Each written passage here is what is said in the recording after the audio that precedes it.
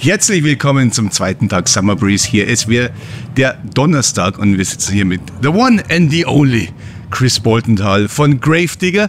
Aber nicht nur äh, deswegen ist der Chris heute hier, weil er mit Gravedigger aufspielt, sondern es hat ein paar Jährchen gedauert. Manche würden sagen Jahrzehnte, aber du hast ein Soloalbum fertig. Wie, warum hat es denn so lange gedauert oder war da, war da nie ein, ein Ansporn oder ein Besinnen da? Ja, im Endeffekt wartet man eigentlich auf die richtige Gelegenheit. Ne? Und die hat sich jetzt ergeben und äh, ich hatte einfach Lust, auch ein bisschen Zeit dafür. Und äh, mit Tobi Kersting habe ich halt ein super Pendant, sag ich mal, als Gitarristen gefunden. Und auch damit Lars Schneider und äh, den Patrick äh, Klose als äh, Drummer und Bassist. Und wir hatten einfach Bock, was zu machen. Und ja, da waren wir mal losgelegt. Und das ist dann halt als Soloalbum Chris Bolton da als Steelhammer veröffentlicht worden. Ja, da, müssen wir nochmal drüber reden, weil letztendlich ein Soloalbum, also ich wäre egoistisch und eitel genug, dem meinen eigenen Namen zu geben, damit hat sich's.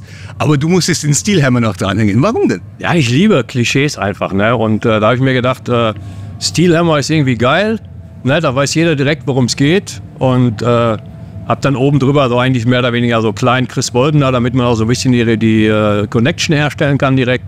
Und äh, ja, ich finde es einfach geil. Mein Gott, ich bin mit Metal-Klischees aufgewachsen und höre seit, ja, seit meinem äh, zwölften äh, Lebensjahr Heavy Metal, Hard Rock. Und ich liebe diese Klischees, ich habe sie immer geliebt und daher benutze ich sie auch bis äh, zum Untergang, äh, bis die Klappe sich öffnet, äh, weiter, weiter Metal-Klischees. Die Ideen, die Songideen, die du da zusammengefügt hast, äh, Gab es die schon länger? Sind das Sachen, wo du sagst, die lege ich mal auf die Seite, wenn du für Gravedigger geschrieben hast? Oder sind die wirklich frisch? Nee, das ist ja in einigen Reviews unterstellt worden. Äh, das wäre die Gravedigger Restrampe.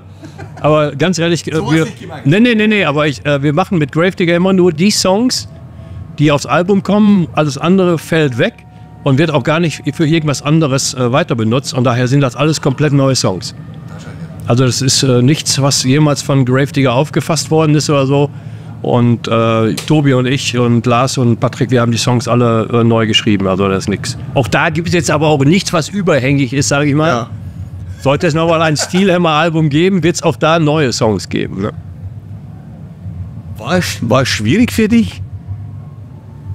Dann letztendlich irgendwo, vielleicht weil es eben nicht Gravedigger ist, anders zu denken, anders an die Sache herangegangen? Äh, ja, auf, auf, jeden Fall. Ich finde, ich singe auch anders. Aber das Problem ist natürlich, ich habe natürlich so einen Grundtenor in der Stimme. Ne? Ja. Äh, ist genauso, als würde Udo jetzt in einer Reggae-Band singen oder Chris Bolton da in einer Blues-Band. Äh, da würden die Leute sagen: Hey, da ist doch Udo. Oh, das ist doch Sänger von Gravedigger. Ja, äh, da lässt sich halt nichts dran ändern. Und wenn ich dann auch noch ein Metal-Album mache, dann sagen die Leute: Ey, warum machst du ein Metal-Album? Ja, was soll ich machen? Ein Reggae-Album oder ein Blues-Album? Ja, als Chris Bolton da, keine Ahnung, nein, nein, ich liebe Heavy Metal und mache Heavy Metal und deshalb ist auch mein Soloalbum Heavy Metal. Und selbst wenn man genau hinhört, dann hört man einfach auch die marginalen, vielleicht kleinen Unterschiede zu Gravedigger, ist ja versorgen. Aber, mein Gott. Das wievielte Mal spielst du auf dem Summer Breeze? Ja, yes, äh, die Frage ist äh, sehr berechtigt. Nein, wir spielen zum ersten Mal auf dem Summer Breeze. Hör auf. Ja, wir, tatsächlich. Okay. Wir haben jetzt zehnmal Wacken oder so. Und ja, jeden äh, keine Ahnung, sechsmal Bang Your Head gehabt oder so. Ja. Aber auf dem Summer Breeze spielen wir tatsächlich das erste Mal. Wie kommt, das muss man dann tatsächlich aber erklären, vielleicht für die, für die, für die Hörer. Wie kommt es, dass man nach all den Jahren dann doch irgendwann mal eingeladen wird und, und, und vorher aber nicht? Ist es Zufall oder ist es, was ist es? Ich, ich habe keine Ahnung, aber im Endeffekt ist, ist einfach der Fakt, wir freuen uns hier zu sein. Ne, werden gleich noch eine geile Show abliefern. Und äh, ja, besser als niemals, sag ich, ne? das stimmt. Was haben deine Kollegen von Gravedigger zu deinem Soloalbum gesagt? Äh, der Jens, äh, unser Bassist, findet es richtig geil. Axel hat gar nichts gesagt und Markus findet es auch gut. gut. Gut, wenn gar nichts sagen ein Statement ist und weiß nicht, aber okay. ich habe jetzt nicht großartig nachgefragt. Ja, aber das ist, das ist tatsächlich. Soloalbum ist Soloalbum. Hättest du Bock, das Ding auf die, auf die Bühne zu bringen oder nicht? Bringen wir ja auch, bringen wir ja auch. Oh. Am 16.09. Äh, spielen wir äh, im Kubana, dann in Glauchau am 25.11., am 2.12. in Lemmis in Friedrichshain. Und äh, haben auch schon äh, acht Songs live gespielt auf, dem, auf der Release-Party am 28.07. im Rockland in Witten. Wie fühlt sich das an mit einer anderen Band? ja, es macht auch Spaß. Ne? Das Kräftiger macht Spaß.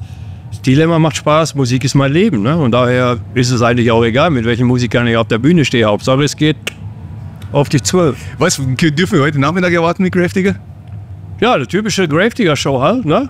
Ohne viel Schnickschack, rein in die Fresse. Ja? True Heavy Metal und äh, ja, mehr gibt es eigentlich nicht zu sagen. Wir haben jetzt heute keine Dudelsackpfeife oder was dabei.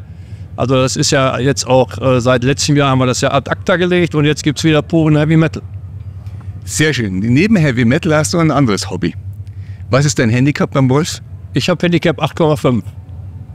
Das ist immer noch schlechter wie Alice Cooper, oder? Ja, leider. Ja. Ist, es, ist es ein Traum, dass du sagst, ich will mal eine Runde mit Alice?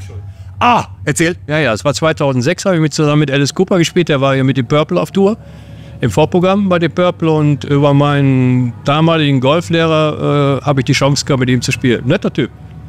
Er ist nett, aber wie, wer ist da? Er spielt halt einfach nur geil Golf und äh, wir hatten auf jeden Fall eine Menge Spaß. Sau gut. Wie geht's dann äh, nach Konzerten und Festivals? Wie geht's denn mit Graftiger weiter? Äh, ja, wir haben ja noch einige Sachen dieses Jahr und äh, ja, es geht live-mäßig, geht das immer weiter, auch bis ins nächste Jahr.